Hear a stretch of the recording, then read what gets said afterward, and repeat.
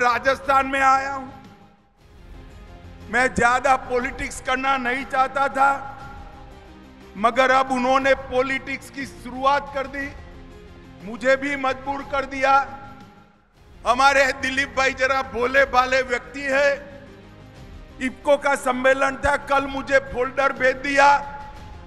मैंने कहा, भाई ये फोल्डर मत रखना, न, वरना अशोक गहलोत नाराज़ हो जाएँगे।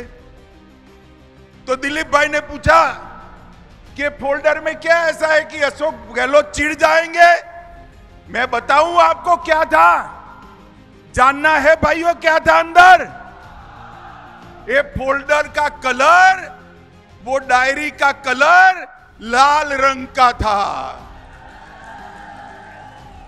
अब दिलीप भाई को बोला मालूम नहीं है कि आजकल गहलोत साहब लाल डायरी से बहुत डर रहे क्यों डर रहे हैं भला? जरा बताओ तो राजस्थान वालों। डायली का आगे का कलर लाल है, अंदर काले कारना में छिपे हुए। अरबों करोड़ों रुपए का भ्रष्टाचार का कच्चा चिट्टा, वो लाल डायरी के अंदर है।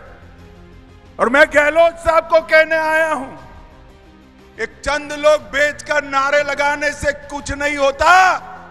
जरा भी शर्म बची है तो लाल डायरी के मुद्दे पर इस्तीफा देकर चुनाव के मैदान में आइए हो। जो जाए दो दो हाथ माताओं, भाइयों, बहनों, एक कांग्रेस सरकार थी और उस वक्त कांग्रेस सरकार ने किसानों के लिए कुछ नहीं किया।